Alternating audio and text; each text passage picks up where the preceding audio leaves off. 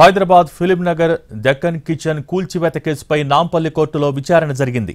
వెంకటేష్ దగ్గుబాటి సురేష్ బాబు రాణా అభిరామ్లపై కేసు నమోదు చేయాలని ఆదేశించింది కోర్టు. అయితే కోర్టు ఆదేశాలను ధిక్కరించి కూల్చివేతకు పాల్పడ్డారని నందకుమార్ ఫిర్యాదు చేశారు. కోట్ల విలువైన బిల్డింగ్ను ధ్వంసం చేసి ఫర్నిచర్ ఎత్తుకు వెళ్ళారని ఫిర్యాదులో పేర్కొన్నారాయన. దీంతో IPC four forty eight four fifty two five nought six one twenty B కింద కేసు నమోదు చేయాలని చెప్పింది Nampally criminal court.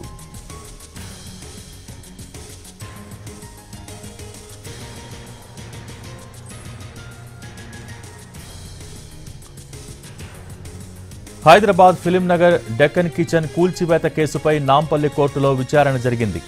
Venkatesh Daggubati Suresh Babu Rana అభిరామ్లపై కేసు నమోదు చేయాలని ఆదేశించింది కోర్టు. అయితే కోర్టు ఆదేశాలను ధిక్కరించి కూల్చివేతకు పాల్పడ్డారని నందకుమార్ ఫిర్యాదు చేశారు. కోట్ల విలువైన బిల్డింగును ధ్వంసం చేసి ఫర్నిచర్ ఎత్తుకు వెళ్ళారని ఫిర్యాదులో పేర్కొన్నారాయన. దీంతో IPC four forty eight four fifty two five nought six one twenty B కింద కేసు నమోదు చేయాలని చెప్పింది నాంపల్లి క్రిమినల్ కోర్టు.